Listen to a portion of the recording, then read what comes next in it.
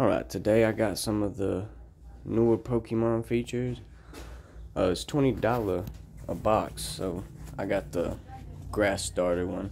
Because it's the only one that came with the, the other legendary riding Pokemon. So you comes with the one promo and the other two are cards you can pull from the set when it comes out.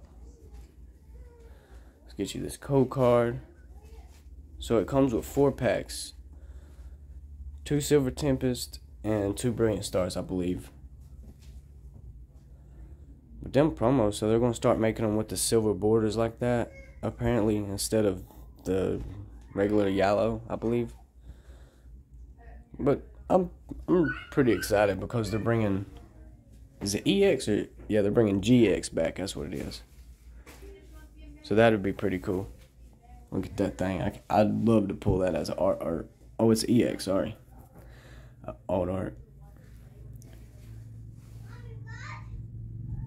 Got my little Charizard promo back there if you see him. Got the little pin with it.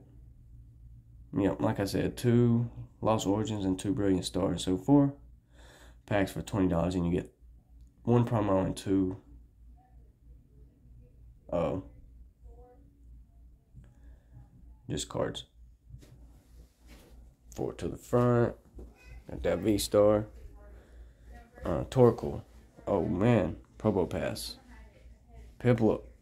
Turtwig. Sneasel.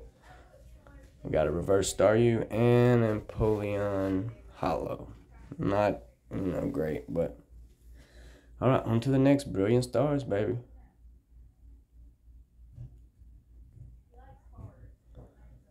Alright. Another code card.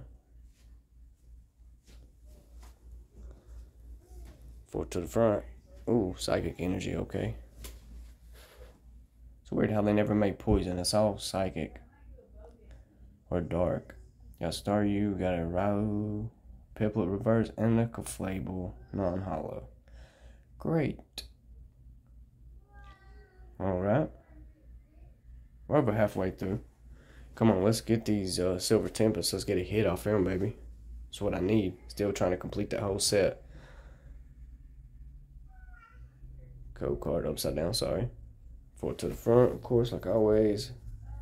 Oh wow, fighting energy. We got a Palossand, Ponyta, Venonat, Spinda, Metagross Reverse, and an Armaldo. Haha. Non holo. I can't wait to open some older packs. I got some Sun and Moon there in the back. I got some.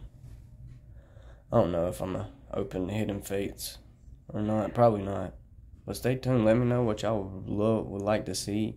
I want more older sets. Crown Zenith's coming out in like two or three days. So, but the crazy thing is, no. Okay, I got a Radiant Alakazam. Nice. And then followed with a Holo Medicham. But anyways, they're not making no booster boxes for Crown Zenith, so it's just EP, ETBs and probably just like